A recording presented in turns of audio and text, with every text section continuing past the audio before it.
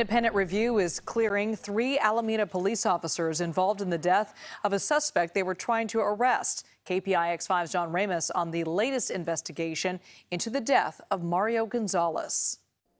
The report was from an independent investigation commissioned by the city to look into what happened on the morning of April 19th of last year. Just coming to check on you, make sure you're okay. Somebody called and said you were uh, maybe not feeling so great. That's how it began. The last encounter of Mario Gonzalez's life captured on an officer's body cam. Alameda police had received a call that Gonzalez was in Scout Park acting erratically and talking to himself. Next to him were two liquor bottles in a Walgreens bag, one of them with the store's security cap still on it. Suspecting it was stolen, Officer Eric McKinley questioned Gonzalez, who spoke incoherently, and after several minutes, McKinley and Officer James Fisher, holding Gonzalez's arms behind him, began trying to bring him down to the ground. Gonzalez struggled and complained as the two officers held him pinned face down on the ground. The video shows that after about five minutes on the ground, Gonzalez suddenly grows still. The officers notice he is unresponsive and turn him over, determined that he had no pulse, and begin CPR.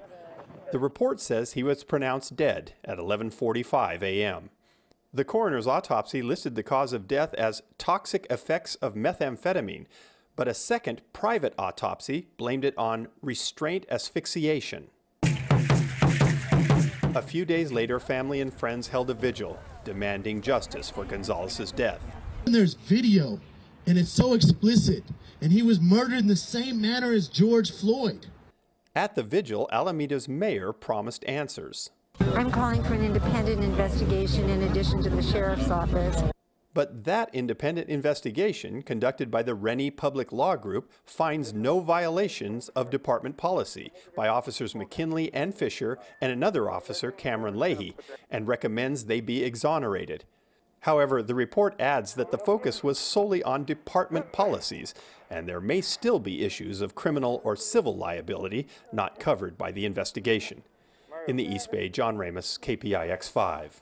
The Alameda County District Attorney recently said the officers involved would not face criminal charges.